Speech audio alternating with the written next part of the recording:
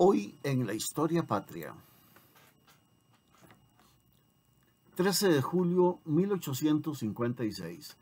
En julio de 1856 el poder político y militar de William Walker en Nicaragua se había fortalecido sustancialmente con el apoyo del embajador de los Estados Unidos John Wheeler, quien recibía a su vez instrucciones de los senadores demócratas sureños en el Capitolio y del Departamento de Estado.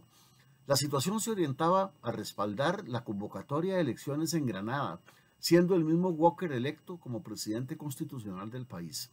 En un día como hoy, el embajador de Costa Rica en Washington, el licenciado Luis Molina Bedoya, envió una nota al secretario de Estado William L. Mercy acusando al Departamento de Estado, a la fracción demócrata en el Senado y a algunos funcionarios de alto nivel de apoyar la causa criminal del filibusterismo, promoviendo la ilegal y amañada campaña electoral emprendida por Walker, siendo una deshonra para los Estados Unidos, una terrible desgracia para Nicaragua y un peligro supremo para toda la región centroamericana.